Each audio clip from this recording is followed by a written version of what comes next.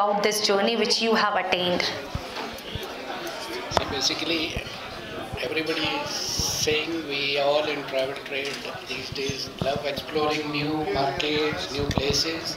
So for us, uh, this session was really educative because we did not hear much. We know Africa, we know the African countries, but we did not know the hidden beauty in that country and natural resources which we came to know today.